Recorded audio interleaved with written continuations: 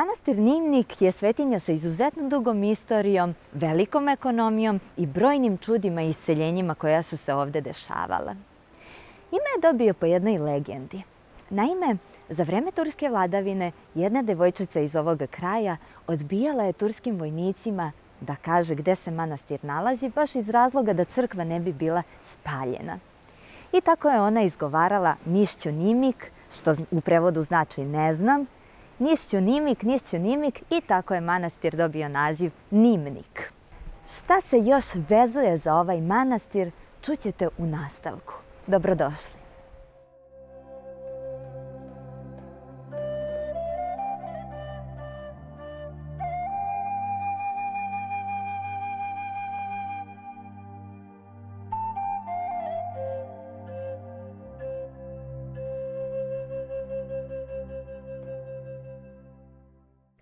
Već rekli, ima vas dosta ovdje. I mm. ovo je zaista e, veliko imanje i vidim da mislite na svaki detalj. O ovome stvarno treba voditi računa. Nije mali posao. E, kako postižete sve? Čim se manastir sve bavi? Kakvu ima ekonomiju?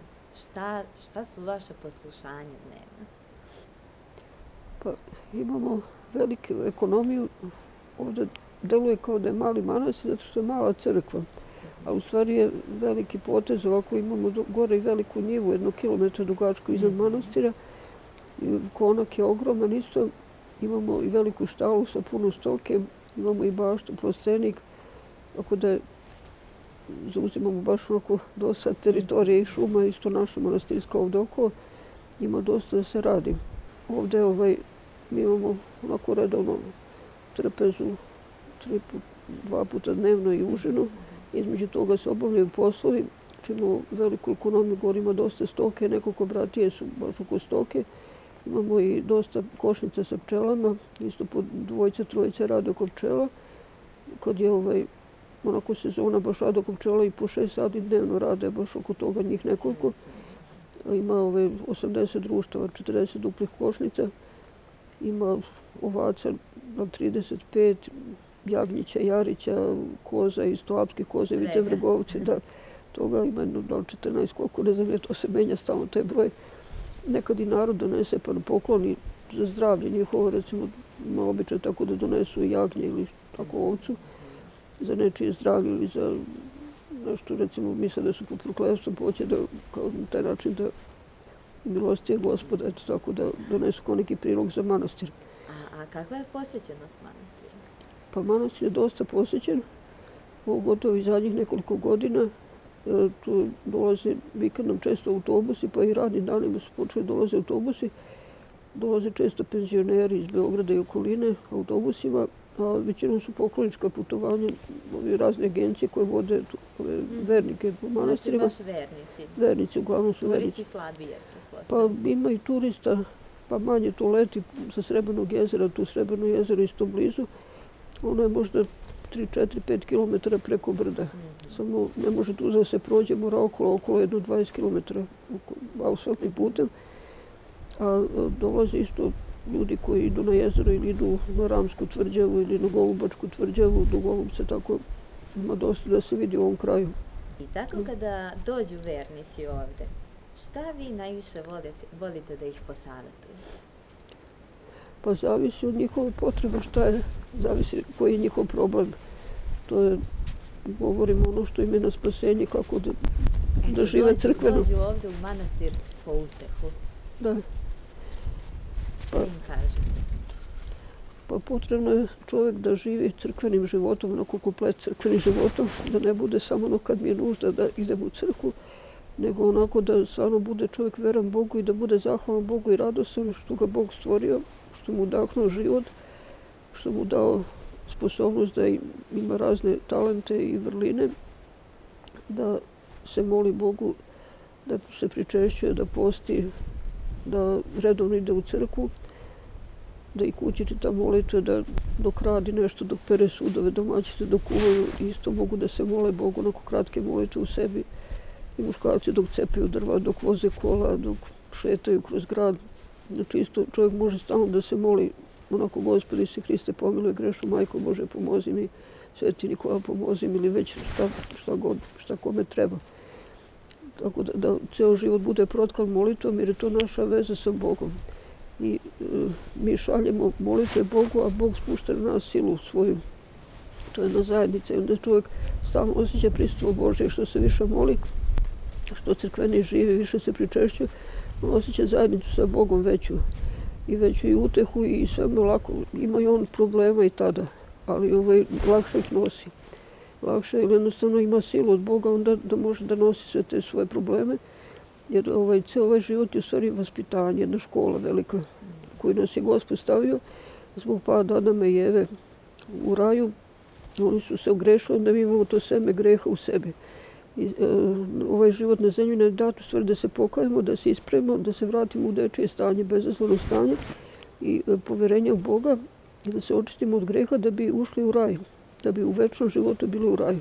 Zato je mnogo bitno da se ljudi ispovedaju, da idu kod sveštenika za ispovest, bar jednom mesečno, recimo, ili jednom par meseci najmanje, zato što je to očišćenje duše i mi možemo jedni drugima da govorimo naše probleme, da savjetujemo, ali sveštenik ima vlast od Boga. Ima silu to Boga, vlast od Boga da razreši te grehe, odnosno gospod preko sveštenika. I to onda je jako bitno da e, čovjek prosto očisti dušu svog tereta, tog mraka koji ima u sebi ili neke težine koje je nataložena grehom. Jer svaki naš greh, dok se mi ne pokajemo, dok ne dostanemo od toga, on navlači na nas težinu duhovnu i mrak. E, onda je odsustvo te sile Božije, A kad se mi pokajamo, počnemo da se borimo protiv greha u sebi, onda se opet prosvetlimo i opet napunimo se silom Božjom. I onda je sve lakše.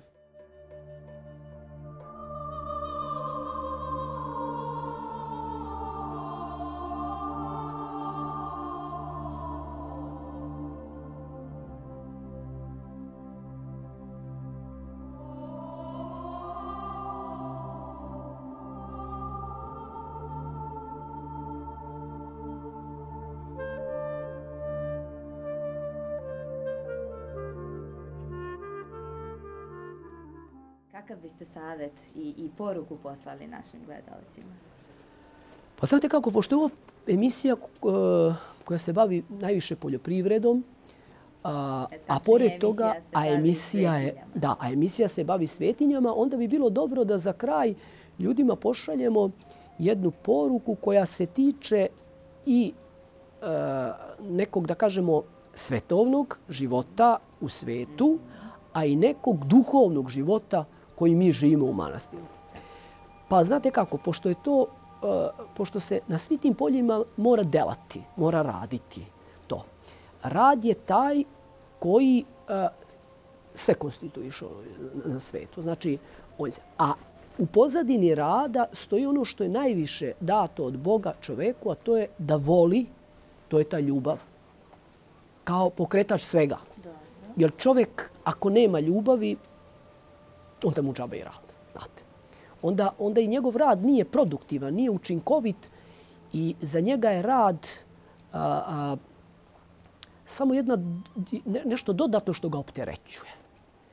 E sad, treba da vidimo kako ćemo duhovnost i ljubav iz koje izvire u stvari sva ta duhovnost a, približiti i poistoviti sa radom koji isto tako u sebi treba da ima puno te ljubavi, a pored toga e, i u svakom radu treba imati duhovnost. Jer, na primjer, ako vi, ja, primjer, ja sam se mome igumanu, koji tamo živi u manastiru Svete Trojice pod Novčara od Suvarnavi, koji je neumorni jedan radnik i delatelj i na e, zemlji gospodnjoj, a i na njivi gospodnjoj. Kad kažem zemlja gospodnja, mislim na ovaj rad naš fizički, a kad kažem a, njivi gospodnjoj, mislim i na taj deo, na, na, na toj njivi gospodnjoj, na, na, na duhovnom radu, na ljudima, na molitvi, na posvećenosti svome monaškom pozivu.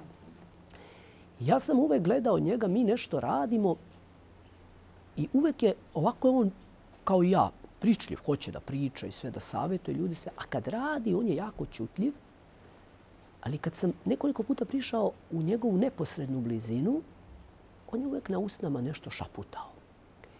I kako je vreme prolazilo, on je čovjek stari, ima 84 godine i već mu je sluh, da kažem, popustio, a malo i vid. Pa se on ranije dosta trudio kada je neko pored njega da to ne primeti. Elem, šta je on radio? On sve vrijeme dok radi, on se moli Bogu. Blagodari Bogu, moli se Bogu. Pritom je izuzetno inteligentan čovjek koji razmišlja o tome što radi. Nikad ništa nije radio mehanički. Uvek je radio sa ljubavlju jer je veliki radnik. Uvek sa molitvom na usnama jer je veliki molitvenik. Uvek sa pažnjom da to što radi bude učinkovito i da on, čovek konkretno od toga ili pokolenja koja dolaze iza njega, imaju koristi. Znači, rad sa ljubavlju, molitva sa ljubavlju i razum protkan ljubavlju. Znate, a, to mi često kad se molimo Bogu, ja uvek insistiram i potenciram, pa nekad dok ona molitva velika traje i po tri puta ponovim ovaj deo da nam gospod da, da, da nam razbistri i otvori razum da sve što radimo, radimo s razumom. I da uvek i uvek napredujemo u razumu. Jer kroz razum projavljuje se razum čovekov od Boga dat, projavljen Božijom ljubavlju kao darom čoveku, a taj razum je onaj koji nas daje nam ljubav da možemo da radimo i da ispravno radimo fizički, ali daje nam i ljubav da možemo uz to da se molimo i blagodarimo Bogu. E, to je po meni neka u stvari cijela poenta sve ove priče i to je ono nešto što za kraj a, ljudima kažem da se uvek trude da napreduju u razumu, a to znači da napreduju svemu onome što rade, da napreduju moliti u duhovnom životu, da često se kaže, ne znam, mi imamo tamo perikopije evanđelja, sad se vraćamo na priču, sad, e, gdje kaže u perikopije evanđelja kao, pa znate, teško je bogatom ući u carstvo nebesko, lakše je kameni proći kroz iglene uši. Sve to stoja. Ja uvek vam kažem, a, uh, verujte, svaki rad i svako sticanje je blagosloveno od Boga. Mi imamo Jova koji je imao sve, sve, sve i odjednom sve izgubio. Ali je gospod pokazao kroz njegovo strpljenje i čutanje da je on u stvari E, e, e, bio taj koji nije roptao, koji se nije ni u tom svom imetku poneo, ni sutra u siromaštvu. Kad je ostao bez ičega, nije se pokudio. Kada je bio najbogatiji, kada je bio puki siroma koji je kupio mrvice, koje padaju sa stola gospodara svoga, on je uvek bio isti, uvek je blagodario Bogu. Nikada nije zakukao, a nije se ni u bogatstvu poneo. Tako da vidimo kasnije da mu Bog vraća svo to bogatstvo. Vraća mu, dobija novu decu, se, a on uvijek ostaje isti. E to je to. Stvarajte, radite, borite se da obezbedite i vašoj deci, i vašoj porodici i sve to.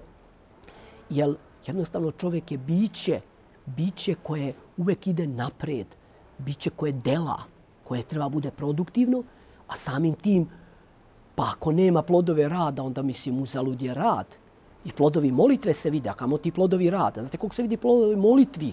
Znači plod molitve koja je, da kažem, metafizička stvar se vidi, znači dođe ti do, da bude postane ti plod molitve vidan, a plod tvog rada ako ti nije viden, ako ga ti ne vidiš, onda to je, to je, to je onda, to je onda rad bez razuma. A stvarati je jako dobro, isticati je jako dobro i treba svi. Vidite kako su svi naši manastiri lepo uređeni, sređeni. Mi se trudimo, od četiri godine ovdje trudimo se, radimo. Imamo još puno posla i sve. Borit ćemo se da još sve, da sve to dovedemo do, do, do malte, ne do perfekcije, da to bude perfektno sređeno i uređeno, što je dobro, ali a, pri tom a, a, to sticanje nije sticanje, ne znam, tamo sticanje da sad mi imamo, da se pokažemo. Ne, nego jednostavno da čovek vidi plodove svoga rada, a u tom sticanju ništa loše nema. Jel, I kad nismo imali ovdje ništa i sad kad imamo, mi se isto ponašamo. Goste smo isto dočekivali tada i sada. I ne treba, se, ne treba čovjek da bude bahat u svom imetku. Da se bahati kao onaj što je rekao, e, sad sam se obogatio, sad imam sve, napravit ću, ne znam, žitnice takve i takve, smestit ću žita svoja u žitnice, reći mojoj duši, e sad dušo, jedi, pi, uživaj, više ne treba ništa da radiš. Pa drugi deo priče kaže, a onda dođe Bog i reče mu, ej, bezubniče, pa danas ću već uzeti dušu tvoju i sve to neće biti tvoje. Mi mora da stvaramo, da se borimo i da trudimo se i da radimo i da napredujemo u svemu tome radu i da stičemo kao da ćemo živjeti 300 godina, a uvek duhovno da budemo spremni da i sutra možemo pred lice Božije, jer sve to što smo zaradili, zaradili smo radom, trudom, poštenjem, eh, Božijim blagoslovom. Pazite, eh, eh, rad je na neki način i Božji blagoslov. Jer vidite da koliko ljudi ima koji ne mogu da rade. Oni su blagosloveni na drugi način. Nisu oni od Boga kažnjeni. Bog nije Bog koji kažnjava ljude, nego koji se projavljuje na razne načine kod svakoga čoveka po naosu, darujući svakom darove, podižući svakog.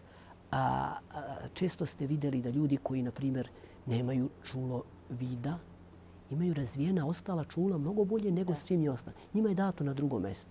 Znači nije Bog koji kažnjava, nego kroz koji nagrađuje kroz, baš kroz takve stvari. Ako ti uzme jedno čulo, onda dobiješ pet drugih čula koji su ti pet puta bolje razvijeni nego ostali. Kad sabereš to na kantar, to je to. Znači nije kažnjen ni on. I on ima nagradu Boga na drugoj strani. Znači, ali Bog je jedan, ali na svima deluje različito. Ali to su te, da kažemo, jedinstvo u različitostima. To je lepota. lepota Božijeg dara.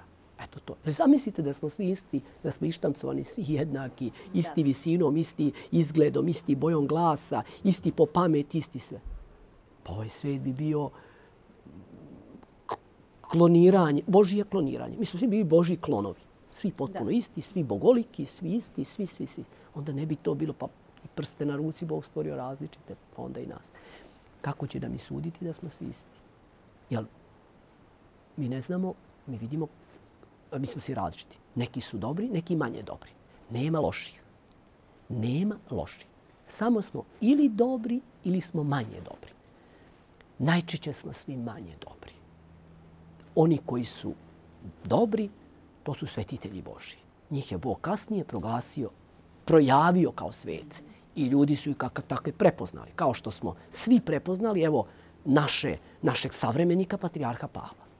Mislim, složit ćete se, verovatno i cela Srbija se sa mnom slaže, da je to svetac uživo. I to je bio dobar čovjek. A mi smo ostali manje dobri. Ali kroz naše pokajanje i kroz naše... I mi svi, imajući njega u primjer, trudimo se da budemo dobri. Stalno se usavršavamo u tom dobru. I hoćemo da napredujemo u dobru. Svaki čovjek i najlošiji hoće uvijek da napreduje u dobru. Nekome se to da, nekome se to ne da. Nekome se da to na nekom polju, nekom, nekom na nekom. Jel, nema drveta bez grane, ni čovjeka bez mane. Svi mi imamo svoje, da kažemo, i dobre i lošije strane. Ali, ako ti znam lošiju stranu, ja ću gledati da tu lošiju tvoju stranu zaobiđem. Ne da to ističem kod tebe. I ne da to iznosim kao nešto što je tvoje. To je samo tvoja lošija strana. Ako ja nju ističem i pričam o tebi u lošem smislu, ja gledam u ogledalo. Jer uvek se kudi bolji čovjek od sebe, nikad loši. Svi znaju da je on loši, šta će o njegu pričati? Ali ona je bolji od mene. Ja ga kudim zato što je bolji od mene, da ga spustim da bude ispod mene. Da, i uvek primećujemo uh, te loše strane kod nekoga, baš ono što i mi imamo. Da. Pa ste vam kažem, treba gledati, gledati uh, gde su ljudima dobre tačke, gde ljudi mogu pred vama da zablistaju mm -hmm. i to kod njih pospešivati. Ja gledam to kod mojih monaha. Tačno gledam šta mu ide, šta. Tu ga, tu ga pomogni. Tu mu budi vetar u leđa. Verujte mi, one lošije strane će mate ne zamru. Polako iz Čile i to sve. Jer on je tu dobio vetar, on sad napreduje u dobru. Onda tu mu se već razum razvija. I onda to ide neko, onako se zahukta kao voz i onda krene i onda ide. A ono što je loše, kao onaj dim i kao ona prašina sa strane otpadaju i padaju i to treba zanemariti kod ljudi.